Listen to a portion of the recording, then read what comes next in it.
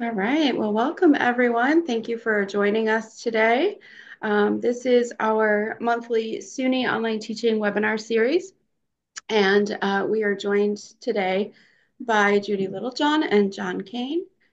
Um, pull up my notes here. So I just want to introduce you briefly to our friends, and then I will turn it over to them to be sharing lots of great information with you today. Um, Judy is the Director of Online Learning at SUNY Genesee Community College. She's also the Chair of SUNY's Faculty Advisory Council on Teaching and Technology, FACT2. Judy provides innovative support for her faculty, and she is a leader in online learning at SUNY.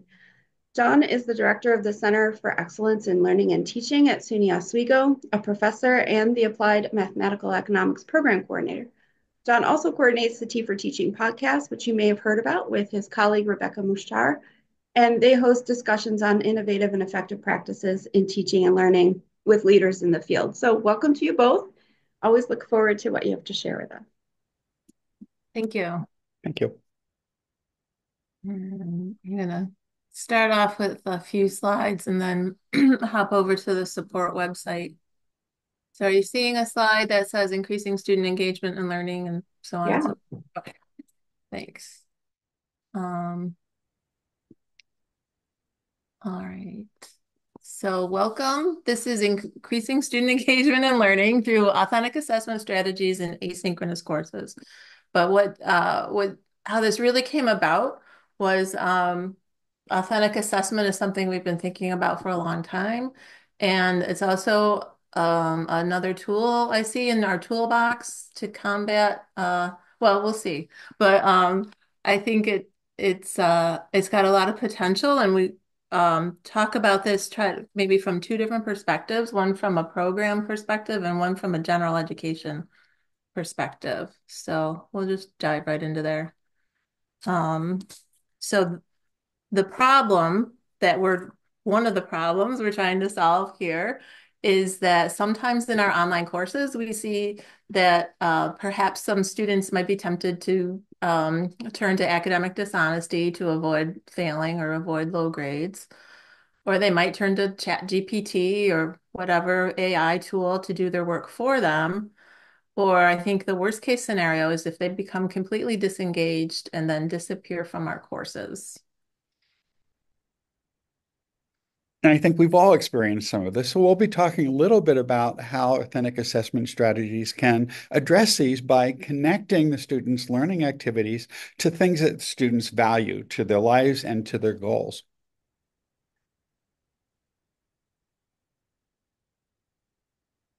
So uh, the goal here then is to use learning uh, to find learning objective related activities that are intrinsically meaningful to students because that fosters a learning environment that makes it more likely because they value the work they see the, the meaning behind it that they feel personally connected to and it makes it more likely that they'll actually complete the course and persist in their education which is an area we're all concerned with.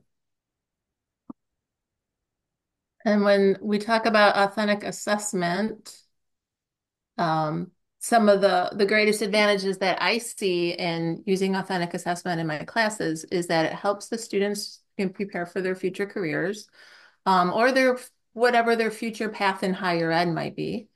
It just helps connect the current course content with the students' lived experiences helps the students improve their metacognitive skills, which I think is increasingly important.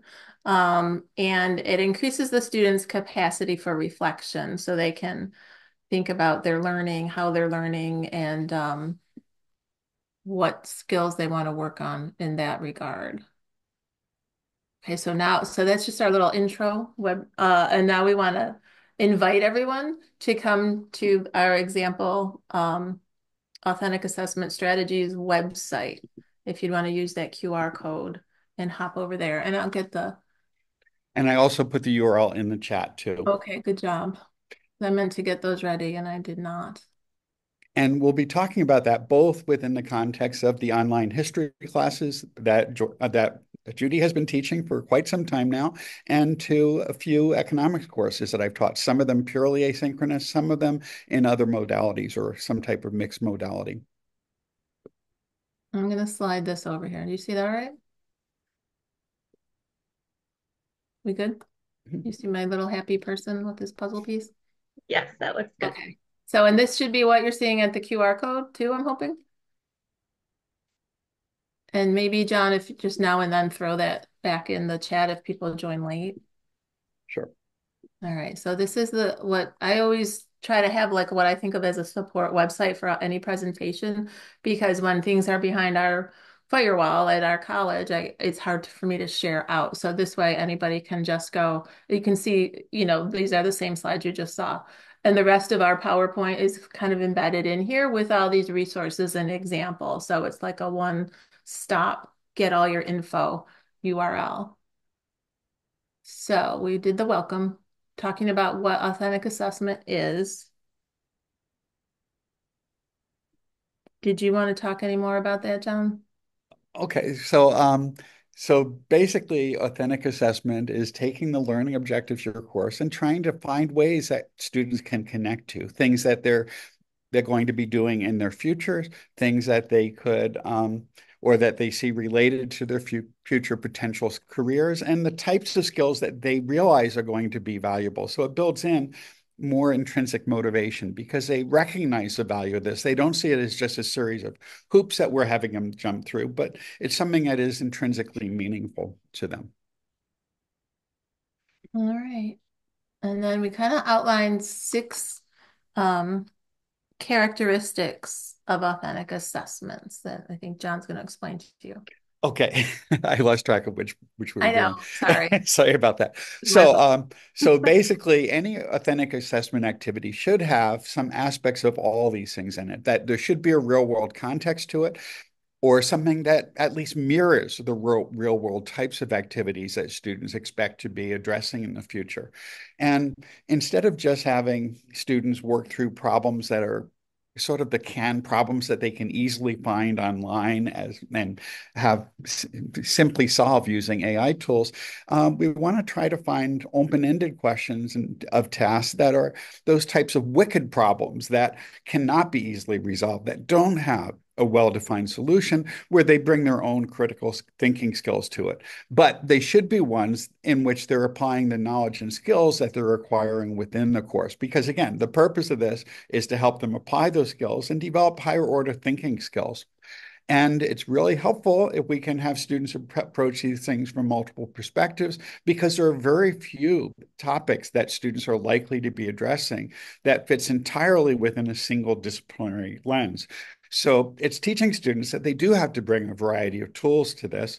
And any authentic assessment task is also one where there's going to be some degree of iteration and scaffolding so that the problem should be set up in a way so that they're getting feedback throughout the whole process so that they're um, they're able to progress in a reasonable fashion so they don't go off in a direction which isn't very productive but we're giving them a little bit of guidance and support and also we're encouraging students to give each other some guidance and support as they work through the process when um, when I think of authentic assessment and the things that we want the students to do because it's so personalized um, it just goes hand in hand with UDL, right? The Universal Design for Learning framework. Um, and I love how Brightspace is inherently accessible as long as we're using the the templates, um, both the templates that SUNY and Alex's group, because I saw Alex here. Shout out to Alex for her awesome templates. And uh, some of the, the thanks, Alex, the document templates that are built into Brightspace. And when you follow those guidelines, the documents you create or those web pages you create are accessible to our students. But also with Universal Design for Learning and authentic assessment, we want to make that connection between um, having students see themselves in the course materials and have some autonomy when they're choosing um, how they're going to demonstrate their learning. And so they they all work together. And I think uh, that this is um, for me with this new LMS, I find this work a lot easier. You know, the the lift isn't as heavy as it was with a previous LMS, and it's just well suited to put all this together. And also, um, the there's a link right in here if you want to find out more about Universal Design for Learning and the new uh, UDL 3.0 framework that came out this past summer, and which is also pre placing a greater emphasis on student voice and agency, which are, you know, foundational to authentic assessment.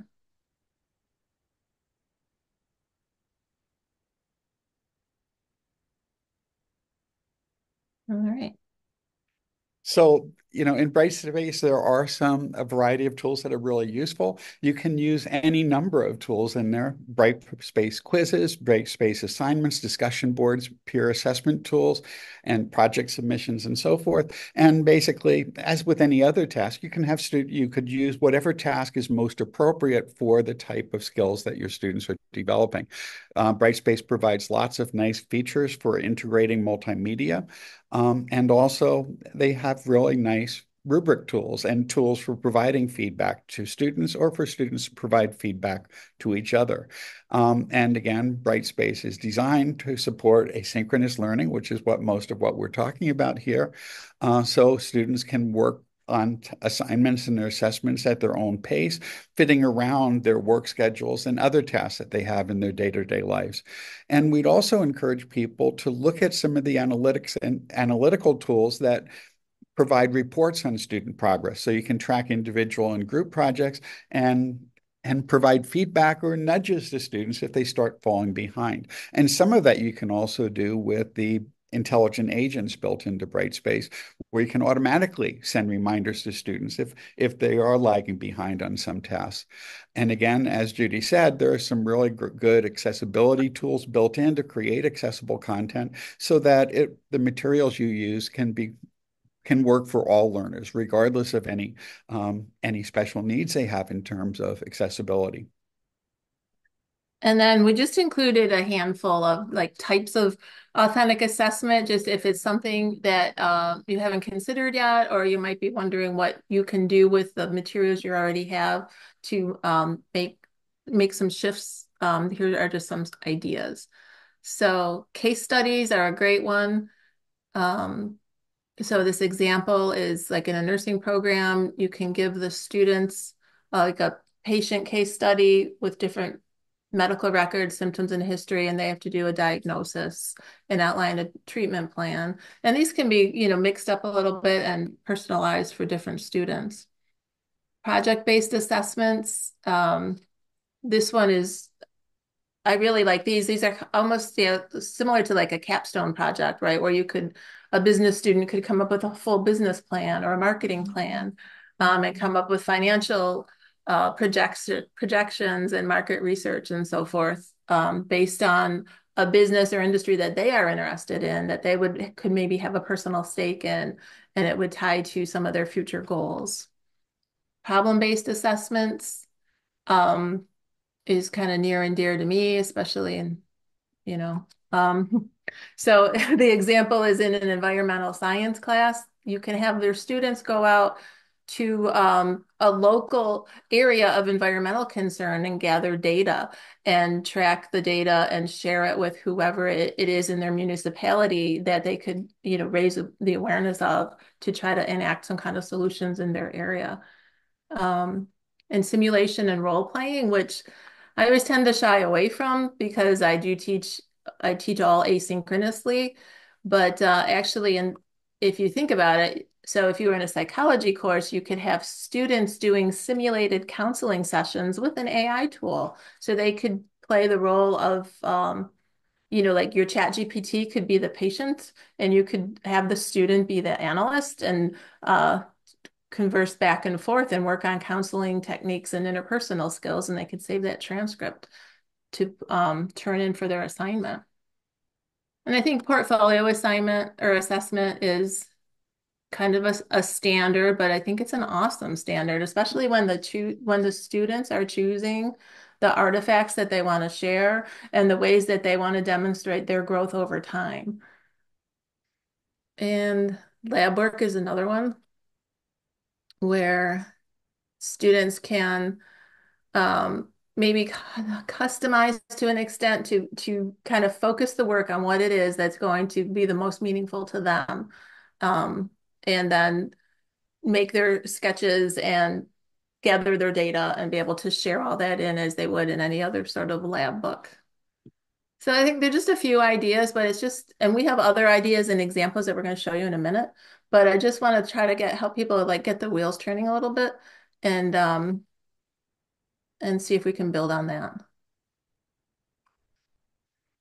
So authentic assessment by the by the nature of them are things that are relevant to students. And that relevance is an important reason behind the intrinsic motivation associated with these. It separates the it allows students to connect the theory that they're learning in classes with real world practice and makes it much more meaningful. And also because they are applying a variety of different knowledge and so knowledge and tasks and things they picked up from other courses as well they're developing critical thinking skills and and developing ways of creatively approaching problem solving, resulting in deeper learning and improved problem solving skills. And again, this also provides preparation for the real world that they'll be leaving as they move beyond college, although they already are in the real world. But it um, it can be a way of helping them develop job skills that they can mention when they go apply to jobs that they've worked through problems of this sort of um, this this nature and it also provides a more holistic review uh, view of a student's abilities than what you'd get on a an essay or a paper exam and so forth. And it prepares students for lifelong learning where they will be addressing a variety of problems. And we know that, you know, most of the jobs that were around 50 or 60 years ago no longer exist anymore. And many of the job categories we have now didn't exist 40 or 50 years ago. And the way in which the labor market is going to be evolving in response to AI, we do need to pre prepare students even more so now to be flexible and adaptable in the future. All right, how are we doing so far? I don't see any questions in the chat, but if you have any, feel free to type them in there. We're almost to the example. so these are just, um, these are some good guidelines to follow when you're creating these authentic assessments in your asynchronous course. So I always imagine that you're not um, meeting regularly with the students in, in you know, in a face-to-face way. So you have to kind of get everything out there in a way that they're going um, they're going to be able to follow through the directions and be successful. So obviously we start with I say obviously because I'm an instructional designer at heart, and uh, we always start with the learning outcomes. So we determine which of your course learning outcomes we're trying to meet or perhaps a program learning outcome um, with a specific example or assessment. And how do we want that you know what do you need the student to show so that you know they met that specific learning outcome? And embracing real world scenarios wherever possible um, so that they can you know relate to what's going on and and then use this learning experience as something they can draw on in the future providing clear instructions so that students understand fully the expectations that you have of them um, so they know what they're supposed to do step by step by step along the way. And as we already mentioned, um, Brightspace has that awesome rubrics tool, and I like to use that a lot. And if, um, sorry, I've got a, a tractor trailer going by. Um, and when you link that to an assignment directly, it, it, kind of embeds the rubric right into the assignment directions so your students can read that while they're reading the directions and kind of get that overview both of what's expected of them and how you're going to be evaluating them. And John also shared in here the tilt transparent um, or transparency in learning and teaching tilt approach. Um, and there's a link to that so you can find out more about that.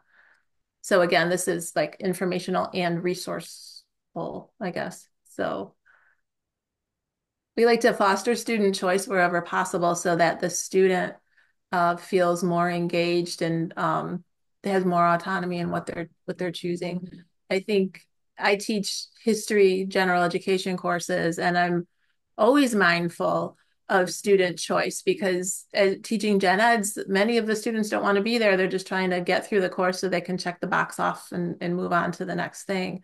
But if I can give them all the tools they need to really engage with the course and like track a topic that they love the most or have the most interest in, it, it makes the whole course more engaging for them. So, and then it, that increases the chance that they'll uh, persist throughout the course. And then in Brightspace, it's easy to add um, multimedia elements. This can be um, videos that that you or the instructor makes to explain a topic or add some more context.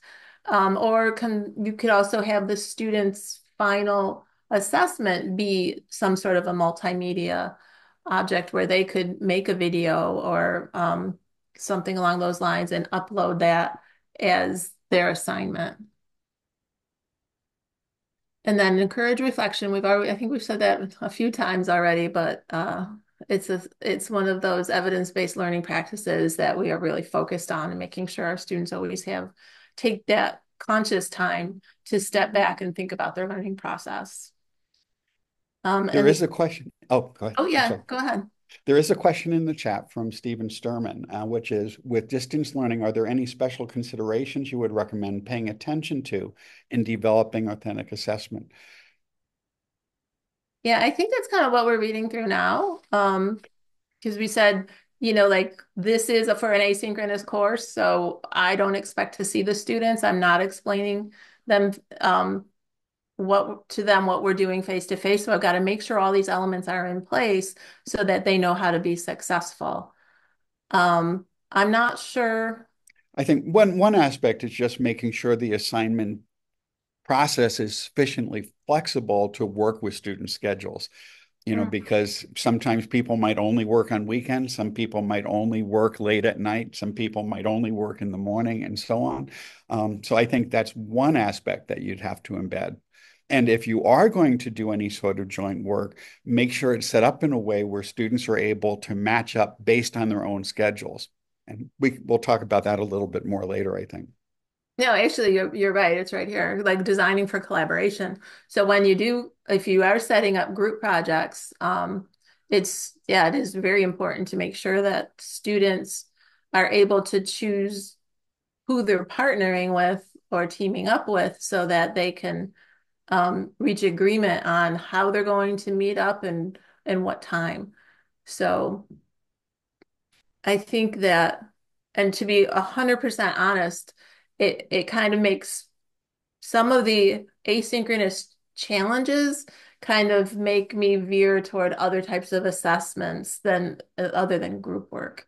And it's something for me, like I need to challenge myself and try to work on having more group assignments. I have this semester implemented um, some debates to see how the debates will go, and they have the students have to consult with each other and uh, make sure they know who's going to address which which part of the of the arguments. You know, if they're going to do the um, you know, a counter argument or a summary or whatever.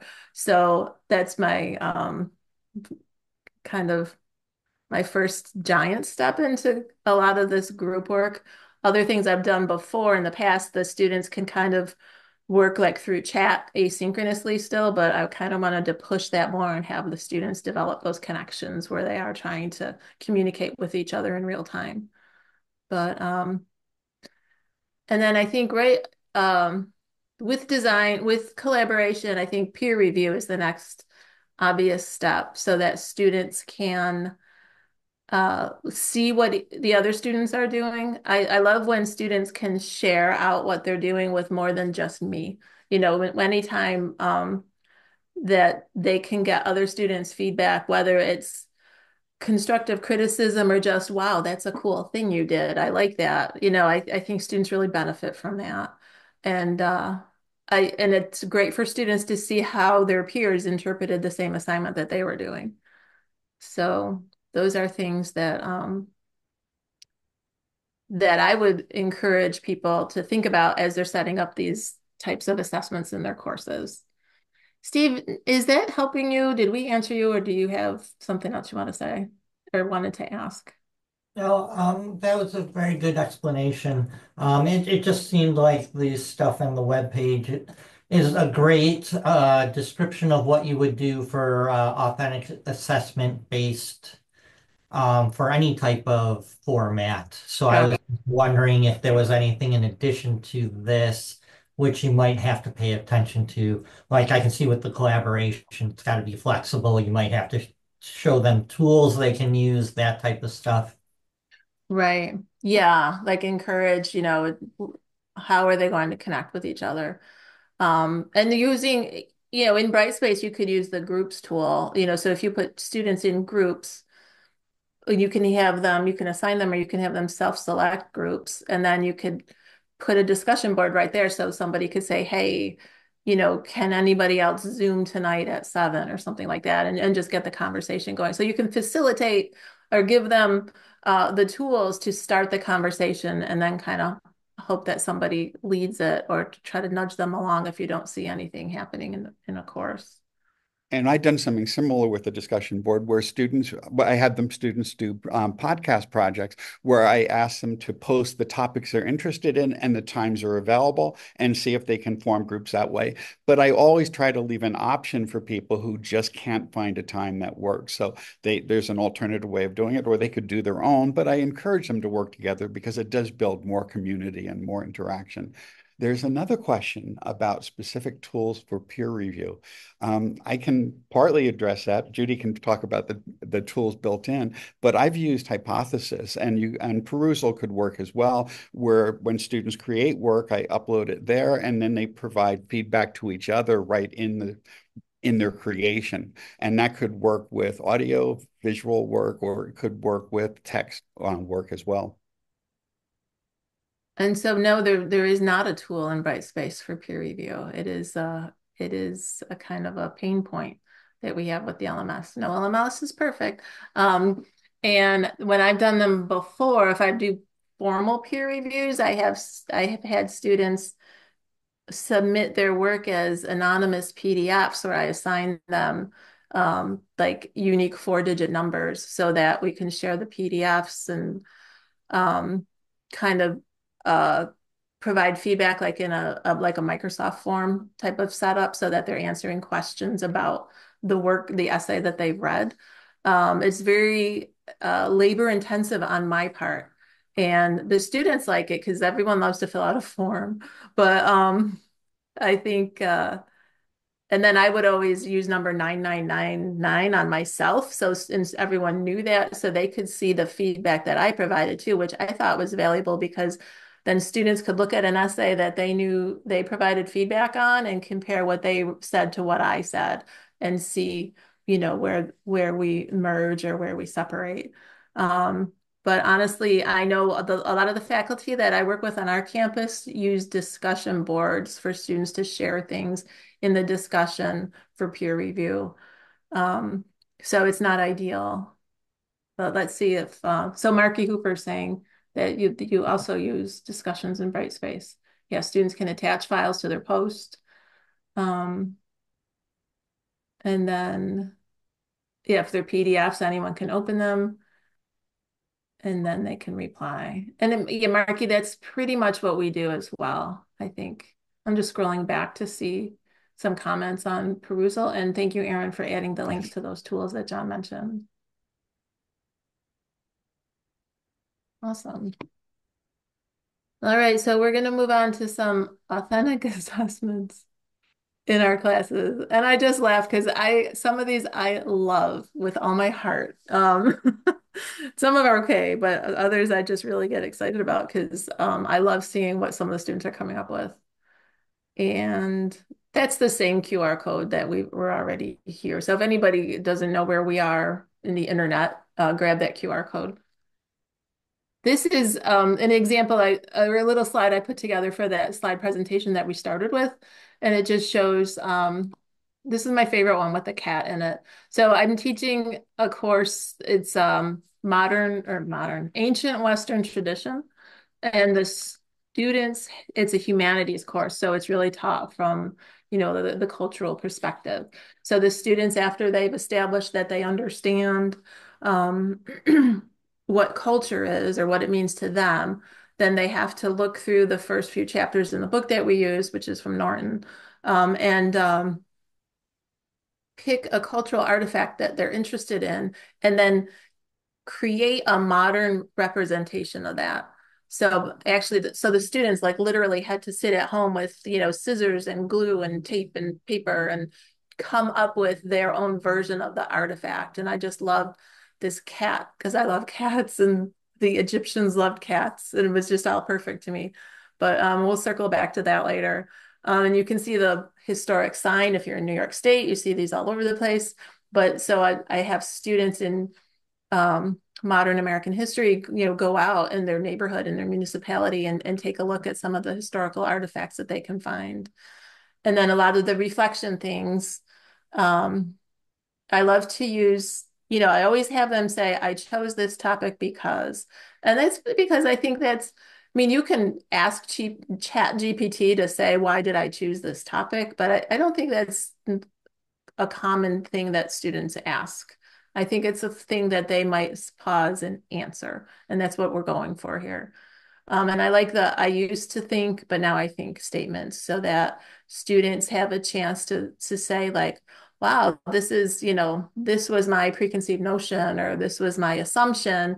And now that I've done this research and written this paper, um, this is what I realize. And they can make these connections and show their own learning right there in, a, in an easy statement.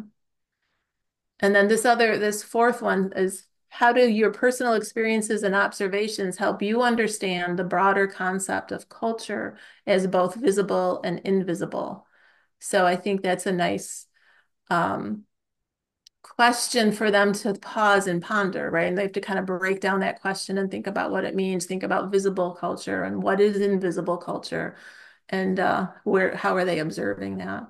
So I really like these are the types of things that I'm putting in my general education courses for students to be able to insert their authentic self, right? And they can choose how they interpret it um, and what sort of topic they're addressing when they're answering some of these questions. Um, and then there's a couple more down here that I put in the on the website. So this is one of those local history ones. A student wrote about a factory in Rochester where hearses were made at one point. And of course, the Susan B. Anthony House, where uh, which was an early voting location from Monroe County the past couple weeks and a lot of people were really excited to be at Susan B. Anthony's house, being able to cast their ballot. Um, so then in Modern World is another one I teach. Um, I have them, and this is hard to read, and I apologize for that, but they the students have to look at their typical breakfast and think about it in the context of the Columbian Exchange and talk about whether the foods that they eat were old world foods or new world foods and you know, what does all that mean and where do they come from now? And um, it's just kind of a fun thing to really get students to think about what what they have every day and what kind of historical significance it might have or what um, you know, like what led it down this path so that it's in your kitchen cupboard. And so I, I like that kind of thing. And along those same lines, um, the students have to write about consumption. And this student, so here, this student created a PowerPoint presentation about coffee. And she started her PowerPoint off with a table of contents. And the reason I put this here is because like I love this, right? Because if I'm sitting, I've got our courses are capped at 32. So I'm I sit down and I think I got to read 32 essays and grade them. And, you know, depending on my mood, I might not be all that enthusiastic about that. But anytime I see that it's a PowerPoint or a video, I just get so excited. And then I open up and see that somebody included a table of contents. And like I'm smiling and grading, like smiling and grading literally, which I never do during an essay. I don't know about you guys, but it just makes it like their personality comes through and I'm enjoying grading and like this is what I wanted. You know, when I said I want to teach this stuff, that's what I wanted was to be enjoying the learning experience with the students. So I think it's awesome, even though we're asynchronous. I'd love to see a student presenting this in person and when they do their videos, which I didn't put in any video clips because I don't have, I want to get a specific student's written permission first, but um, if you hold on to the URL, hopefully down the road, you'll see a couple video clips. But uh, it's just fun. Um, and then I had a student, so we're talking about the Fugitive Slave Act of 18, the 1850s, and she wrote a play. Like the student wrote a play where um, Lucy is explaining uh, to Miss Rose Percy what the Fugitive Slave Act was and how it affected people. And then she's you know, and they're citing their sources, which is so they're like they're still meeting the parameters of the learning outcome. And you know, they're explaining their topic, they're citing their sources, they're using scholarly sources. and uh, and they're doing this in this fun and creative and unique way that they're really engaged with and and by extension i'm engaged too because i'm thinking yeah just wrote a play in a discussion forum like who does that and so it's really entertaining to read and enjoy um now and then here this is a newer one from um, this past summer i did a lumen circle on um, using generative AI in the course with students. And so we had one assignment, we had to come up with our own assignments. And one that I came up with was to have students, wherever you are, you have to ask ChatGPT to give you directions to Boston using the um, roads and modes of transportation that were available to you in 1780. So you can see this. I had a student in Germany who had to travel, it just says travel by carriage and horseback. He had to go to Frankfurt and then to Cologne, from Cologne, go to Hamburg using carriages and horses, as well as river transport where feasible. Then he had to get on a ship from Hamburg to London. Um, and then once he's in London, he had to cross the Atlantic and hopefully land in Boston. And then the students, um, a big part of this too was you got to think about how long did this all take?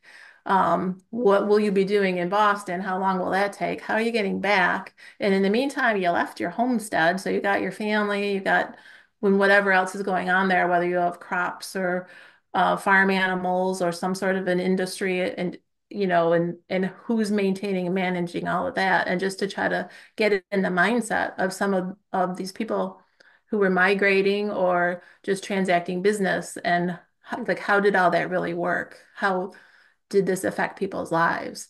And um, so I like that one a lot.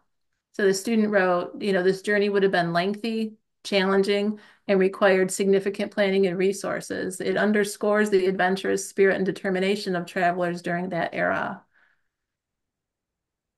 So that's that was a good one. And here, you know, here's the cat. so um, he's creating this modern interpretation of this ancient cultural artifact. So you can see the cat. So he, what he did was he put a pyramid screensaver on his computer, uh, you know, on his monitor. And uh, this is a double crown. It's hard to tell because of the clouds, but there's a there's white.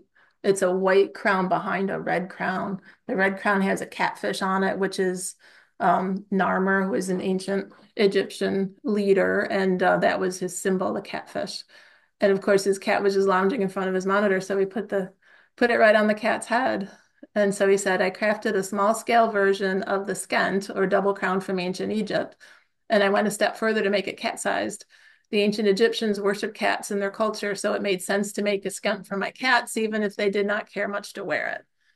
So you think about the level, you know, like just the amount of thought that an industry that the student put into this. And I know, and it is an authentic assessment. Is it going to get him a job? No. Uh, well, who knows? Maybe in the right creative field, but um, it he's engaged with the course. This uh, this course is still going on. We're in week eleven right now, and he he's an outstanding student and he loves the course and it's like it's a it's an excellent relationship that we have even though it's asynchronous and I've never met him but you know we exchange emails back and forth and so forth and it's just been really delightful to see what all the students have come up with I had other students another student wrote a play again about a, an Egyptian girl who had to sacrifice sparrows to a god because their family couldn't afford to buy clothing or metal objects to offer to their god. And then she, after writing all this, she made a slingshot out of twine as her example. And so it's just been amazing to see how creative the students are, how they're thinking outside the box and what they're coming up with um, in a course that they may not have wanted to take, but they're trying to meet a gen ed requirement.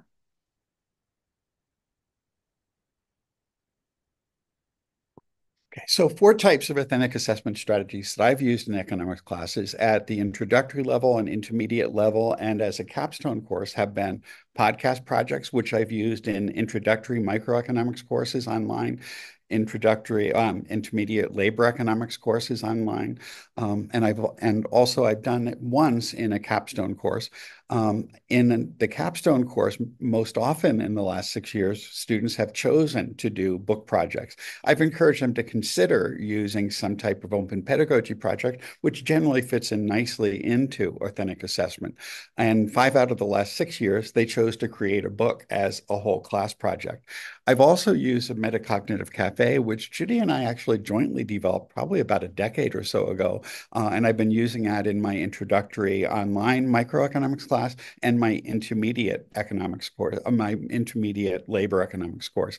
And basically, it's a low stakes discussion forums where students reflect on their learning and on the development of their learning skills as they move through the class, which has this sort of metacognitive reflection that Judy mentioned before. And for many years, I also had gave students the option of, uh, if they did poorly on an exam, one of the weekly exams in the class, they could submit videos for that. I did have to curtail that about five or six years ago because I was using it both in my online class and also in the sections with up to 400 students. And I, when I was getting about 100 videos coming in in the last week or so of the semester, it just became impossible to keep up with it. They really enjoyed it, but it was just a little bit too much for me to be able to handle. Um, so I just want to give a few examples of, of these. Um, and I encourage you just to listen to some of these here. Um, there's a, the first link there is to a podcast that was created by an, um, an education major who is taking this as a requirement for her social studies um, education preparation, secondary school teaching, um, where she's talking about scarcity, but she's applying it to food scarcity and food deserts and some of the inequities she was observing. and she put a lot of passion into this discussion. And it just allowed it to address a concept which in the textbook and in the reading can be pretty dry and looking at some of the real world applications of this. The next one was a little bit later in the semester uh, where they looked at the economics of gift giving and some of the economic inefficiency, which may be one of the reasons why economics gets a bad reputation or reputation as a dismal science. But basically, she was looking at some studies that addressed um, how much value is lost when people buy gifts for other people that they don't really know that well. Uh, and she talked about examples of getting gifts from relatives who may not have got purchase the things that she would value the most. And so it's basically talking about cash versus gifts and so forth during the holiday season. Um, and I did have a longer, um, ooh, and it looks, and it looks like um, this yeah. version lost the, um, the slides that I had put in. Um, this happened one other time too. Um, yeah. So I did have another podcast example here on intergenerational income mobility, which was there this morning and last night, uh, but it seems to have reverted to an earlier version of this. And I also had links to some sample student videos, and I don't know where they went, but we will add those back into the website later. I wonder if this is cached on my computer here. I bet that's what's happening. No, um, let me see. Oh, you okay? Aaron can see it. Okay, so if you just do a quick refresh, maybe. Okay. Um, I think that should get it back. It's it's a long scroll. Oh but, yeah, uh, it is intergenerational mobility in the U.S. Okay, good. so, um, and that shows the type of podcast projects that were done in a capstone level course with senior senior students who were planning to move into the next stage. And you can see they're much more sophisticated. And in each of these classes, students worked in groups typically of two or three to develop two podcasts, one at the beginning of the semester or about halfway through the semester and one near the end. And they were given a, a list of the learning objectives throughout the class and just they just picked one from each portion of the class and built that into this. Um, and in the book projects, it was a really highly scaffolded project. I was inspired by presentation that Robin DeRosa gave at CIT and some podcasts she had been on. Um, and the first this class has been offered and sometimes in a, well, typically in a bichronous manner, but it's often been face-to-face, but it, they're still really cool, authentic learning assignments. So I'm going to mention it anyway. Uh, and basically the students at the beginning of the class decide what type of project they want to do in the class that semester. Um, and most often they chose the book projects and I had shared information with them before from a podcast I had done with Robin DeRosa and some examples of of open pedagogy projects, which probably induced them to lean towards a book project initially. Uh, and they picked it, they come up with a list of topics they wanted to address that semester. They tried to find a common theme, uh, and then they broke up into groups. Initially, I let them pick their own groups, but then to be more equitable in the future, I sorted them based on how much background they had in math, math and graphs and the number of economics courses they had taken and the number of math courses.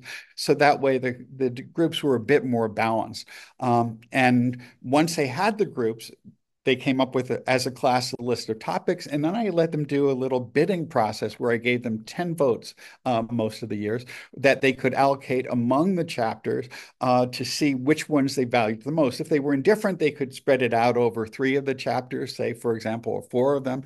Uh, if they really were committed to one, they could bid all of their votes on that. And it turned out that virtually every group got their first choice or their second choice in each of these occasions. Um, and these were pretty well done projects. They were doing other things in the class too. They were doing presentations. They were doing presentations every week, but it was a really fun project. Um, now, the, I I could only find two examples of the older videos because I, I, they were on YouTube and they were publicly shared. I had lots of links to ones that students only shared with me, but these were kind of fun videos uh, that they really enjoyed doing. It both of them ended up involving songs that the students created in which they were singing about economic topics, and I was really impressed by their creativity there. Um, and I do right below this, I have um, some of the feedback from students about the, the book projects. In fact, this was a podcast describing the book project that students after the semester was over, grades were received and so forth. I asked the students if any of them would be interested in coming back at summer and recording a podcast um, describing that book project. And these were just some selected comments about it, showing how students valued the project. And I think the main theme of this was that they were really impressed to have this work, this sample of the work that they could share with with their family, share with their friends. And they also mentioned that they liked the fact that they could put it on their LinkedIn profiles to show the type of work they're capable of doing. And it was it was a really positive experience. And um, right below that, I just put in a few arguments here about why um, um, why authentic learning activities might be valuable. Um, if you could just scroll down a little bit, you know, this is all tied to intrinsic motivation. That what the work of Deci, Deci and Ryan, Ryan Deci, and a whole host of other researchers and psychologists found is that once people get past their basic needs, then, you know, the basic needs of food, clothing, and shelter and so forth, the needs for competence, relatedness, and autonomy and self determination are really important to human beings. and that authentic assessments connect to these psychological needs, which creates that sort of intrinsic motivation that makes students want to do it more themselves. And in one of Deci's studies back in 1992, he finds that those tasks that generate intrinsic motivation leads to both more current and future engagement with that task. So there is at least some evidence that by building this intrinsic motivation, it's more likely that our students are going to persist and put more effort and energy into these pro- these these activities, which again means they're going to get much deeper learning out of them than if they're just jumping through hoops that are dumped upon them. Thanks, John. Um, and so we added in here uh, like what might you try in your courses? Like thinking if you were looking, if you're teaching gen eds, yay, um, you could focus on guiding students toward the value of critical thinking and metacognition and civic engagement, you know, like um, you projects that they can do for the greater good, right? Like the environmental issues that they could target and things like that. Or obviously, if you're teaching program courses, they you could focus on the learning outcome um, activities that they need uh, that will help focus them on their student, on their learning goals and their future educational goals.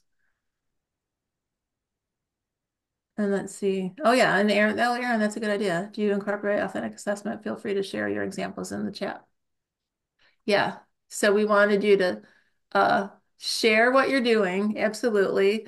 And if you if you're be past all that because you're already doing it, then we wanted you to try the uh, assessment or try open up your chat GPT and ask for directions to Boston, but back it up 30 years and ask for the roads uh, and modes of transportation from 1750 and see um, what you'd have to do to get to Boston and back. John added another activity here about economics. And um,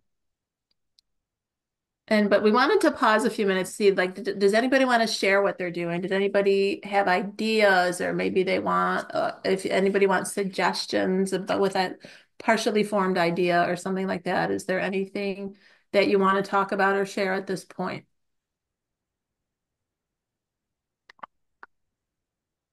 There was a question earlier, I responded briefly in chat, and that is that authentic assessments are different than the types of things students are used to, and there's often some resistance when I introduce a podcast project, um, I gave students a survey because I knew there'd be some resistance to it. Because whenever I tried something different, students tend to resist. And their main concerns was they weren't sure if they had the technology to be able to record it. They weren't sure about how they'd upload files and so forth. So I responded to that and I started the project with a really simple task where I asked them to listen to a podcast and I gave them a list of four or five podcast series where all the podcasts are about 10 or 15 minutes in length. And I asked them just to listen to one and to use a Chromebook or a laptop, and I told them what software to use, or their smartphones just to record a response and then to upload it into a Google form. And that relieved their anxiety dramatically once they saw that it really wasn't that hard to do. Nice. I also really liked uh, Casey's reply to that same question, John, um, about providing an outline about how this assignment or whatever it might be is applicable to their future career in academics. So mm-hmm. that direct relationship to uh, the real world example. Nice. And Casey also posted in the chat that um, they have a lot of examples of authentic assessments in criminal justice courses, and anyone who teaches that should feel free to reach out at c.ryan2 at hvcc.edu. That's very generous, and thank you, Casey. So we know we have some challenges and solutions, as we do with any asynchronous class. and this is just kind of like this is on our home stretch to the the summary and final. But um you know things that we're using uh, these types of assignments to help overcome right? The lack of student engagement which is what we started with way at the beginning. Um, we are just trying to uh, link what the students are doing to what it is that they're trying to to get to in their real life and um, help to use multimedia, interactive content, and whatever we can do on our end to make it as engaging as possible so that students will connect with the assignments. Time management is an ever-present issue, I think. Um, but if we're, and I think it works both ways in this, in that we have to give the students clear deadlines or um, or like checkpoints, if you will, like have so much done by this date and have them check in with you. But often, um, or also make sure that if it's group work, that the students are checking in with their peers, um, or and that the students in the group like feel empowered to nudge their peers and say, "Hey, you know, we're we're supposed to be this far. How is everybody doing?" So um, they can keep each other on task as well. Assessment integ integrity is really, you know, it's a it's a hot topic now. I think every everywhere um, with the Chat GPT and the the difficulty and um, you know the plagiarism checkers not really being reliable on for checking with um, AI content and so forth. So I think that that's what I like is that if it's as pos as personal to the student as we can make it, then they get excited about what they're sharing. And I think it helps to mitigate the odds, I'll say, that they're using some sort of um, an external tool to do the writing for them. And other other issues, you know, are diverse student needs. But again, we circle back to those UDL principles and um, the accessibility features in Brightspace. Those can really help with both of these issues, the diverse student needs and the accessibility and inclusivity. Um, so where are we? I know we're running out of time and I wondered, Alex shared an, a link in the chat to um, SUNY online teaching um, online assessments on, on the website. So Alex, did you want to talk about it or just share it out there and, and let people click on it as they wish?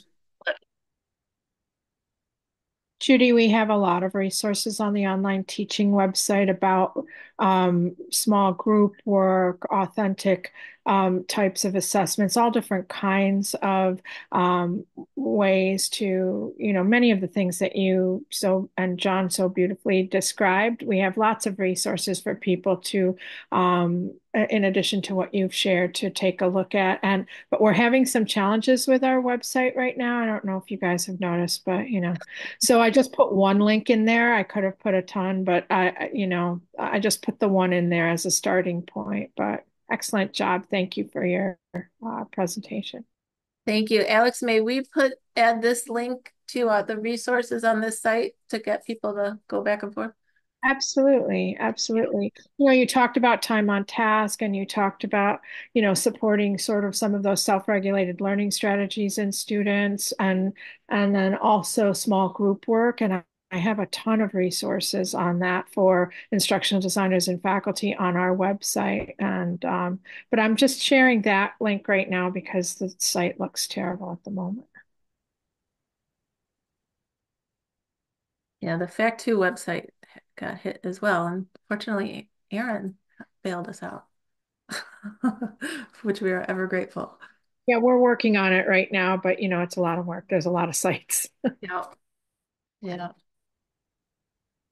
So in summary, we just had a few key takeaways. I don't know, Jonathan, do you want to talk about those?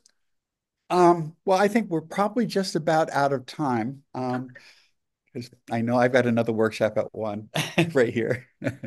So, um, so they are in the document, and you know, it's basically just arguing that you consider trying some authentic assessment assessment activities. But wait, there's a Padlet. and we did we did put this out here. Um, so if you have something to share, uh, you know, an uh, um, an example, please feel free to share it on this Padlet or ask any questions or or anything. Like we'd love to hear from people. We'd love to see other people's examples. And um, and um, you know, as Aaron says, we do love a Padlet, uh, which I'm not that handy with Padlet. So if anything's not working, that's on me, and you can you can nudge me to say, tell me what to fix. Um, but and also just to wrap up the site, we we do have a list of sources here, um, and we're going to add uh, Alex's link. And then at the very bottom, you can reach us, email us, um, and we're more than happy to talk to you if you have any questions or anything you want to share. And thank you. Thank you all for coming and for joining us and listening to us. Thank you.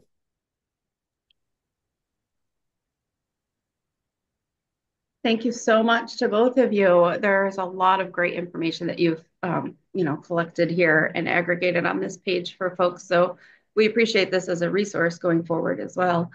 Um, I'm going to put a couple links in the chat here for folks.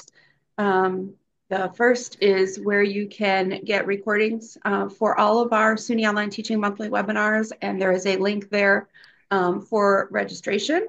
Um, I'll show you the, the uh, list of sessions here I think you can see that, right? Yep.